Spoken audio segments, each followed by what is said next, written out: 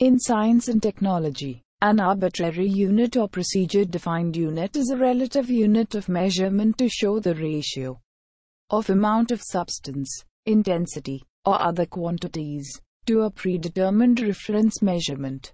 The reference measurement is typically defined by the local laboratories or dependent on individual measurement apparatus. It is therefore impossible to compare 1 UB unit by one measure and 1000 UB unit by another measurer without detailed prior knowledge on how the respective arbitrary units were defined.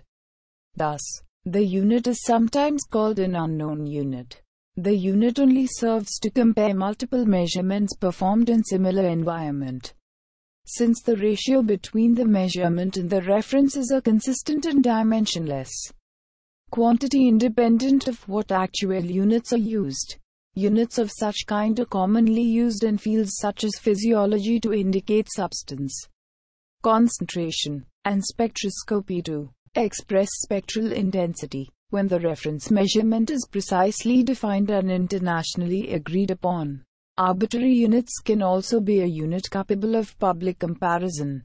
One example of a publicly defined arbitrary unit is the WHO International Unit.